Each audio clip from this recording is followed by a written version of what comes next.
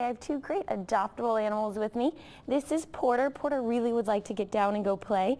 He is an Australian Shepherd lab mix. We think probably some hound in there, maybe some boxer. He is five months old and as you can see he has that gorgeous blue eye. He is a very sweet, happy dog. He's ready to go today at noon at our Sharonville location for a $20 adoption fee.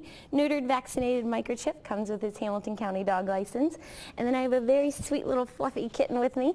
She is a $10 adoption adoption fee. She's been spayed, vaccinated, and microchipped as well. So come and see both of these animals at our Sharonville location at noon today. They'll be ready to go.